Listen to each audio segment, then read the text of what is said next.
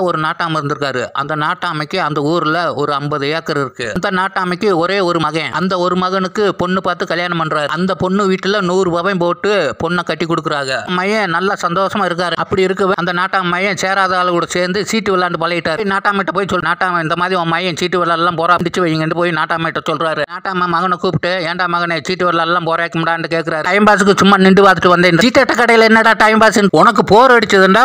தோட்டத்துல மாடு இருக்கு கண்டு அதை பிடிச்சி வரப்ப வரப்ப மேம் போயிட்டு போகுது. டைம் பாஸுக்கு சீட்டாட்ட கடைக்கு தான் போவியா? அப்படின்றாரு. சீட்டு விளையாடுறதுல என்னடா பழக்கம் நாலு பேத்துக்கு தெரிஞ்சா சம்மந்தம் சாடி கூட பண்ண மாட்டாங்கடா. அப்படி சீட்டு விளையாண்டு அந்த ஜெயிச்ச காய்ச்சல் நம்மளுக்கு எதுக்குடா? அப்படி நாலு பேர் வகுத்துல அடிச்சு ஜெயிச்சுக்கிட்டு வந்தாலும் அது நம்மளுக்கு தங்காதுடா அப்படின்னு காட்டை வித்து கரையை வித்து பொண்டாட்டி நகையை கூட வித்து வந்து தோத்துருப்பேன். தோத்துட்டு வகுறு எரிஞ்சிட்டு போவேன். அப்படிப்பட்ட இடத்துல ஜெயிச்சுட்டு வந்து நீ என்ன தோட்டம் தோறவா வாங்க போற?